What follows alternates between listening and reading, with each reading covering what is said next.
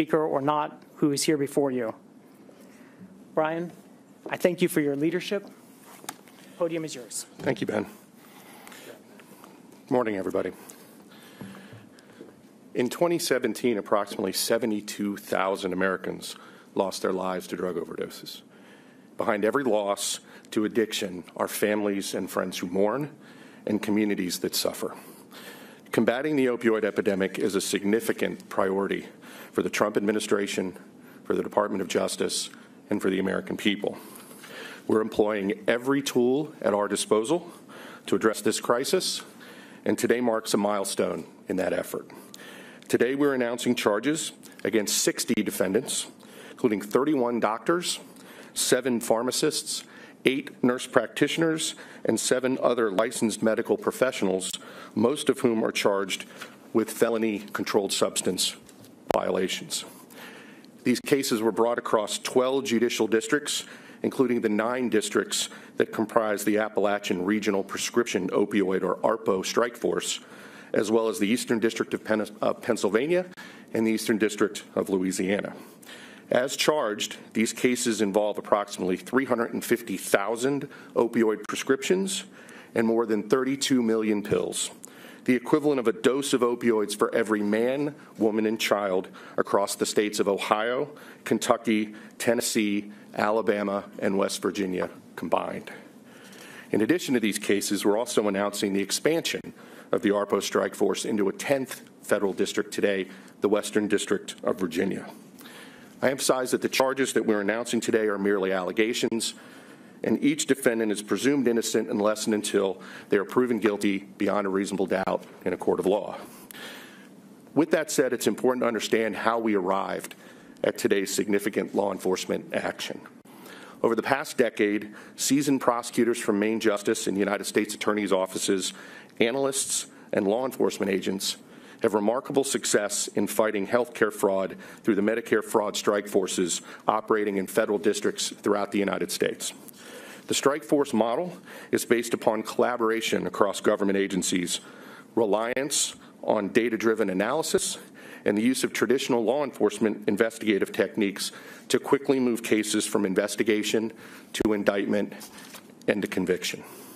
Last year, the criminal division, led by Joe Beemsterboer, who, who heads our healthcare fraud unit, and Matt Miner, Deputy Assistant Attorney General in my office, proposed a new strike force to address the opioid problem plaguing the Appalachian region. Our recommendation was based in large part on data analysis performed by our analytics team in the criminal division in Washington. In 2017 alone, the states involved in today's surge, again, Alabama, Kentucky, Ohio, Tennessee, and West Virginia, reported more than 10,260 drug overdose fatalities. With the full support of then Attorney General Jeff Sessions, who, as Ben said, described the opioid epidemic as the most important domestic law enforcement priority of our time, we quickly reached out to various stakeholders, including those represented on the stage behind me here today. It included state and federal law enforcement partners, HHS OIG, DEA, and the FBI, along with the United States attorneys who are here with us today, as well as assistance from the state Medicaid fraud control units. And I can tell you, I could not be prouder to stand shoulder to shoulder with the group of people who are behind me and the people who are in this room today as we attempt to address this problem. The response was overwhelmingly positive. Our agency partners provided resources from far and wide, more than 300 law enforcement agents made today's action possible, with participation from 13 DEA field offices, 11 HHS OIG field offices, and six FBI field offices.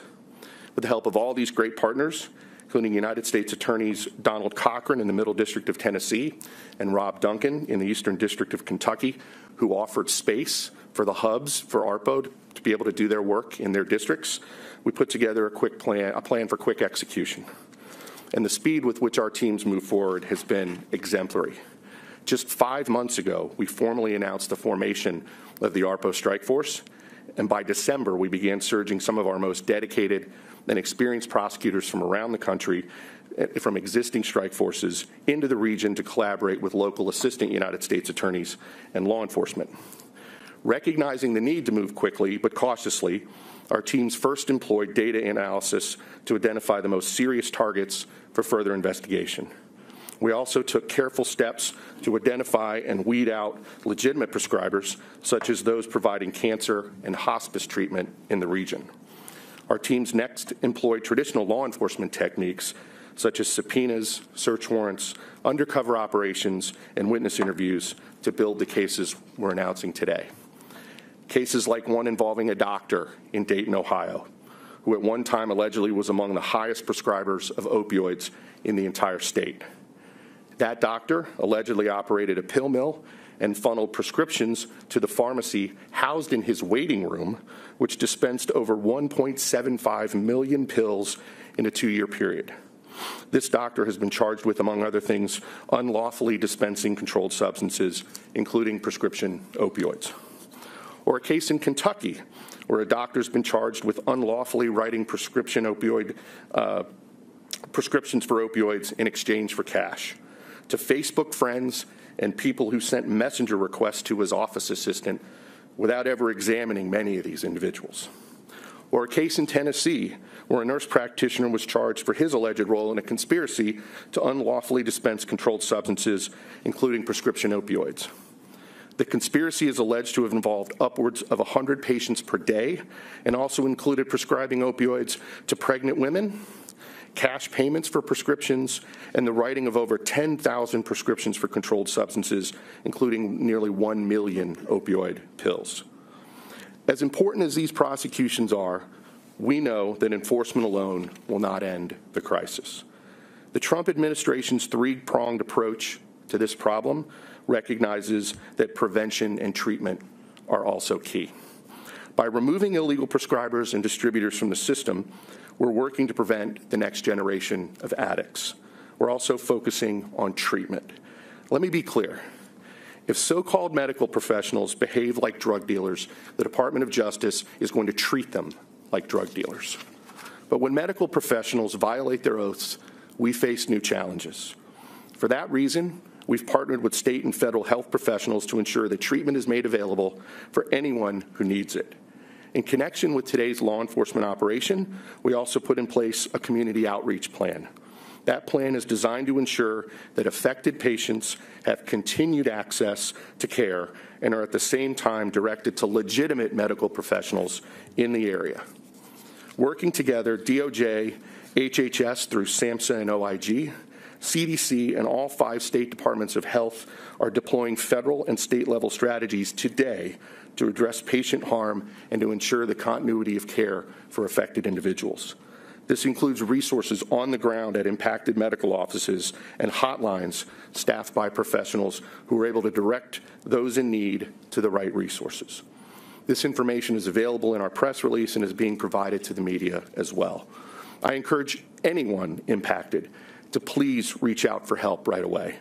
If we can save one life in connection with this law enforcement operation, that alone will have made it worth the effort. Working in collaboration across government, we are stopping corrupt medical professionals in their tracks, providing services to those in need, and working to prevent the next tragic loss and the next grieving family. Today's takedown represents the single largest prescription opioid law enforcement operation in history with the highest number, number of medical professionals ever charged by the department for prescription opioid related crimes. But as significant as today's announcement is, everyone should know that our work will not end here. We're going to continue to remain focused on this problem that has impacted and claimed far, far too many lives. Finally, let me add this is a, truly a team effort. Only through continued cooperation and collaboration will we bring down the number of opioid prescriptions, the number of opioid deaths, and the addiction rate in these affected communities and across the region. I want to thank everyone here today. As I said, I couldn't be prouder to stand shoulder to shoulder with these men and women. Um, I want to thank U.S. Attorney Glassman for hosting us today, uh, as well as the eight, uh, eight other United States attorneys and law enforcement partners on the stage.